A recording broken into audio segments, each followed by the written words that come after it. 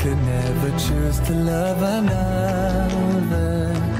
Maybe one day I can learn to love you too.